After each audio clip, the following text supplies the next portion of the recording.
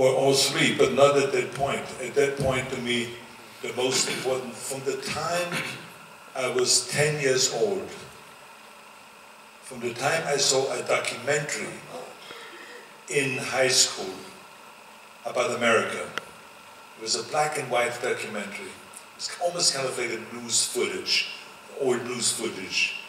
Uh, Fox Tönende Wochenschau, they had it in the old days, right?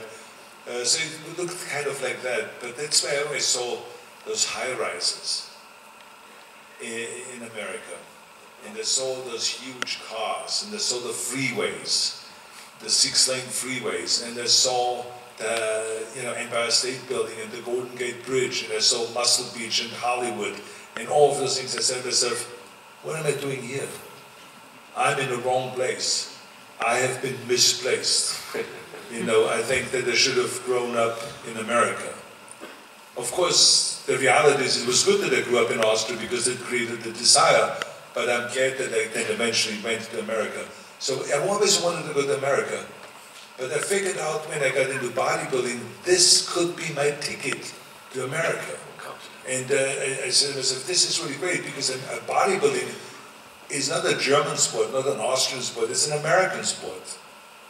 And so I felt like this is what could get me over there. So going to America was very, very important.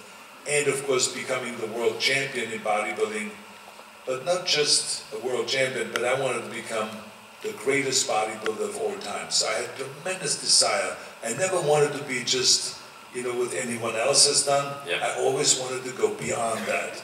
And so to me, the goal was to be like a Reg Park, but to win more Mr. Universe titles and to really create a Schwarzenegger era.